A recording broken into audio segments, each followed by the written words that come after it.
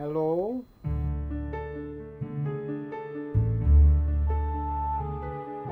Well, it was 1934, I think, uh, that he came to Manchester. He was then 21. This young man came and seemed more unpractical than one could have believed.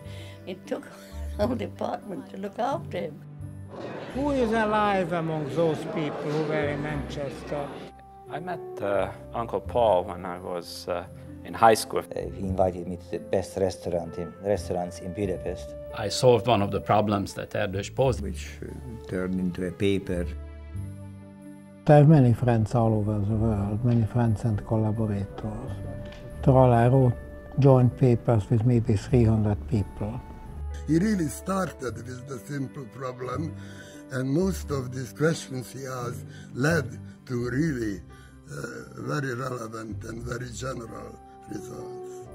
Now then, a number is called abundant.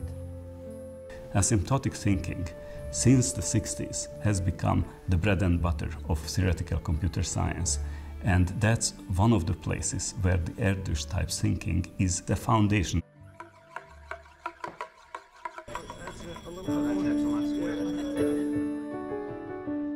There's a perception that he was just focused only on math, and he really cared a lot about other things than math.